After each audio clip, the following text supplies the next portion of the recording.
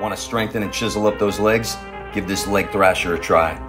You'll start with a brutal two minute weighted wall sit and then immediately transition into eight front barbell squats. The sequence finishes with 12 single leg calf raises on each leg. Catch your breath for two minutes and then repeat the mayhem five times.